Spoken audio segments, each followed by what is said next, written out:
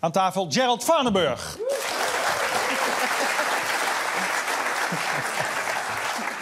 Voor de allerjongste moet ik dit even doen. Even je, je, je cv opnoemen. Eh, acht keer kampioen van Nederland, vijf keer bekerwinnaar, één Europa Cup 1, één Europees kampioenschap. Eh, 88 uiteraard. Hij is nu gamebreeder. En dit zien we in de korte documentaire Gerald Vanenburg in het wild van Fox Sports. Op een groot stuk land, op een uur rijden van Johannesburg, fokt hij wilde beesten, springbokken, niala's en wat al niet meer. Eh, Impala, Springbokken. eh, eigenlijk alles buiten de Big Five. Ja, en wat zijn de Big Five? Olifant, buffel, neushoorn, leeuw en de... ik moet hem nog een keer... Genoeg? Nee, nee, nee, luipaard. Luipaard, Ja. oké, luipaard. Eh, als het in het kort kan hoor, hoe ben je daar in hemelsnaam terechtgekomen? Ja, af en toe denk ik ook wel eens bij mezelf, hoe ben ik daar terecht gekomen? Nou, dat is een heel verhaal. Ik had familie daar wonen en ik ging eigenlijk ieder jaar daar naartoe.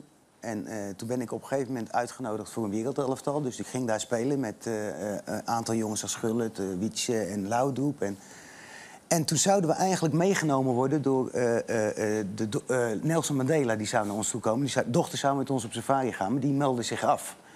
Nou, die jongen die daar zat van de familie, die heeft toen een privévliegtuig geregeld. En toen zijn we eigenlijk met z'n allen op safari gegaan naar het Kugerpark.